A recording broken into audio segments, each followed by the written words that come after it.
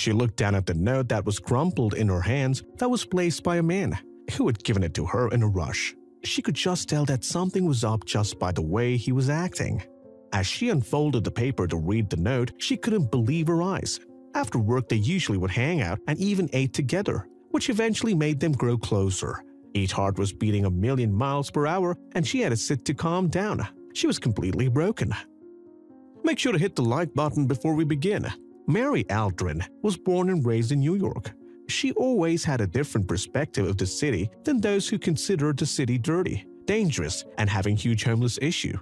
But Mary was kind-hearted and was always there for people hoping that this would change their minds of the city. But little did she know that the next person that she would help would not actually help him. Mary was an entrepreneur who owned her own bakery, which helped to pay the bills and to support herself and her child, Dominique. Sometimes being a single mother wasn't easy. Mary and her husband divorced just after Dominique was born. Her ex-husband did send in checks to help support their child, but it wasn't enough to cover their child's education. Sometimes people enter our life unexpectedly and would turn out to be an important figure. But even through the difficult times, Mary was able to maintain a positive attitude. She knew she had it better than most people who lived in the city. She noticed a man staring at her daily as she walked by every day. She realized that he was homeless, but even with his condition, he was able to smile at her. Through his smile, she could see a familiar spark in his eyes, as though he has hope in them. This made her feel optimistic even though she didn't know who the man was. Mary decided to talk to the man, even though he was not very talkative. She felt drawn to him as though he was an old friend. She just assumed that it might be his friendly face, but little did she know that she had actually seen him before. Mary packed an extra lunch on that day, one for him and the other one was for her child. She packed a light salad roll with a slice of cheese.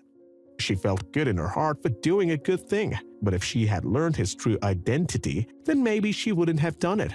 While she was going to work, she spotted him and handed him the lunch bag, but quite surprisingly, he didn't want the bag.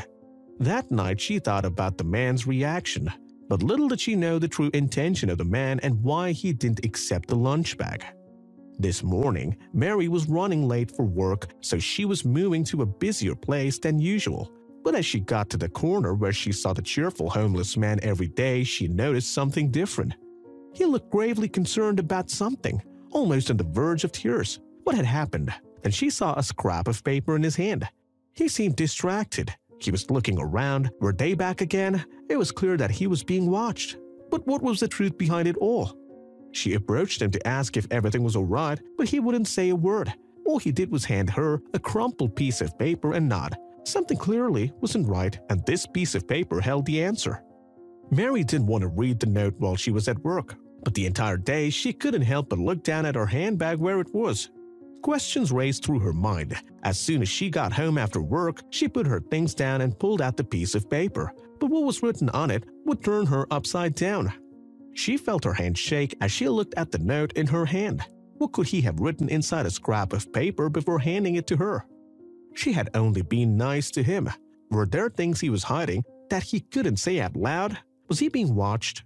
It turns out that the homeless man was actually Richard Gere, the note explained that he was shooting his new movie and that's why he was dressed up as a homeless person.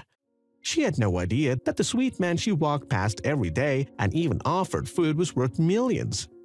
Richard Gere was actually on set being filmed for his role as a homeless man that's trying to fix his relationship with his daughter. The movie is called Time Out of Mind and is an American drama. His getup must have been very convincing if it fooled Mary and probably many other New Yorkers. Mary went back to visit Gere after realizing who he really was. She understood that he could not talk much to her because they must be filming him for the movie. It was now obvious that he didn't want to waste her precious food on him when he already had so much money.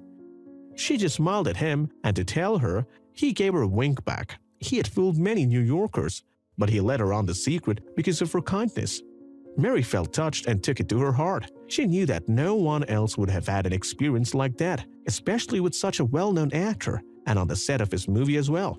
She would still see him every day she walked to work until one day he was gone. Presumably, they had gotten enough shots. She still thinks of him when he walks past that corner every day with a smile on her face.